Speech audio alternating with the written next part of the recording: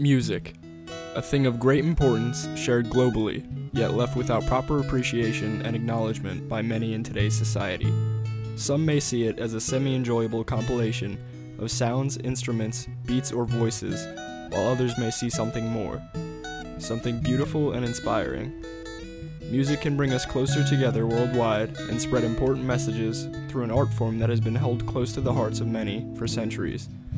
Music has the power to change the world. Throughout history, music has played a vital role in communities throughout the world for countless years. Whether it be for religious purposes, entertainment, celebration, or fun, music has always found its place in societies worldwide. Those who do not appreciate music will never understand its true potential.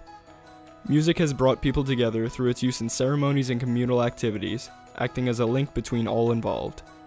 Letting the music connect you with others around you, all listening, enjoying, and appreciating what they hear, can help a person feel empowered and enthralled with enjoyment of others and help develop a connection between all involved. Music has the power to change lives. Dedicated fans of a band or artist genuinely rely on the music they love to make them happy. Some people find themselves and understand themselves better through listening to music. To those who love music, it can be their salvation. Music can help you forget about whatever hard times have you in their grasp at the time. For some, it can even do more than that. Frontman Michael Bond stated in an interview that when he is on stage performing, he does not notice the effects of his Tourette's syndrome. He goes on to say that while performing, he does not twitch like he normally would or feel worried about being judged by others. I had this thing, uh, it's called Tourette's. You know, I always can make jokes about it and, and have fun and, and, and be funny about it, and, and I never really take anything to heart. Growing up, it wasn't it wasn't so easy at all. I've had it since I was since I was born. If you don't know what Tourette's is, um, there's two different types. There's a vocal Tourette's, and then there's a uh, like a Tourette's where you twitch. I have the kind where you twitch. Uh, they just had some doctors watched me through the glass. Ended up saying, "Hey, your son has Tourette's." It's it's weird being a you know having Tourette's and being a frontman, and and as soon as I pick up the mic, you know, I I'm, I'm in the zone. You know, I don't I don't even think about it. I don't twitch really on stage that much. Although music may seem like it has no downfalls or adverse effects on society, studies have shown that to be false. Teenagers listen to an average of 2.5 hours of music per day. Many popular songs contain explicit content about drugs and alcohol, some about tobacco also. Through some types of music, these types of things are portrayed in a positive way, promoting the use of such substances. Exposure to these kinds of things through music can be linked to the abuse of drugs, alcohol, and tobacco in adolescence. However, exposure varies on the type of music being listened to.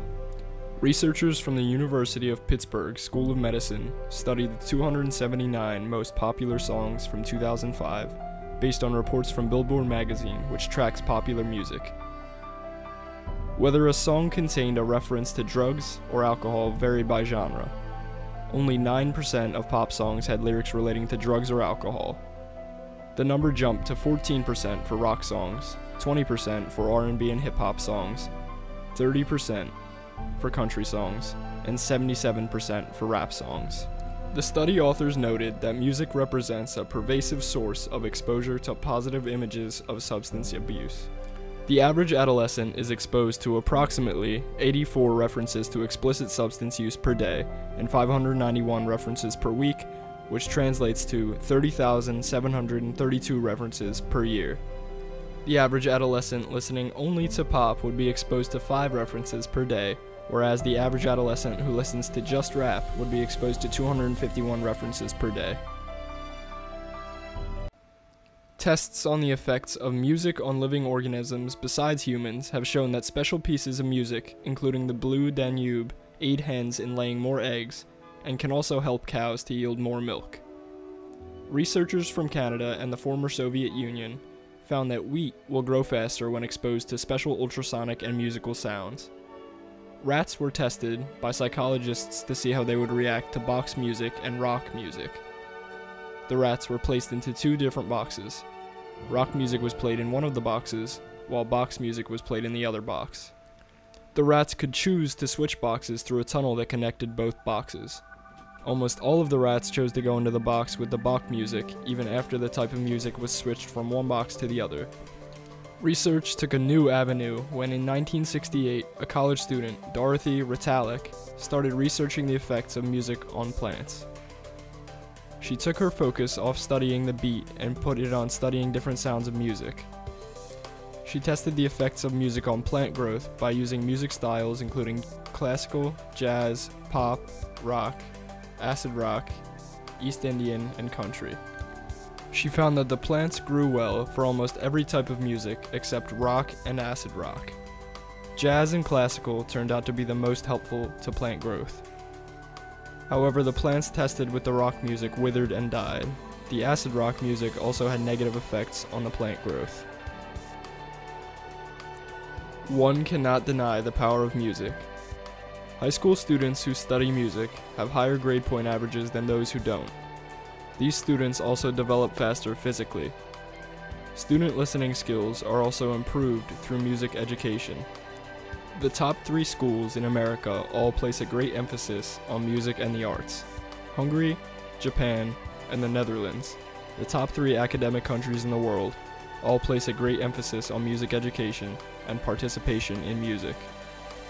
The top engineers from Silicon Valley are all also musicians. Napoleon understood the enormous power of music. He summed it up by saying, Give me control over he who shapes the music of a nation, and I care not who makes the laws. Singing and music have always played an important role in learning and the communication of culture. Music is also a major part of a teenager's separate world. It enhances our senses, touches our emotions, and creates memories. Music is a universal language that we all understand. By appealing to our emotions, it has the ability to break down complex issues into things we can all relate to, like love, friendship, fear, or loss. In this way, music expands our horizons and opens our minds to new ideas. Music can be used to solve world problems and raise awareness. Music can bring the world together.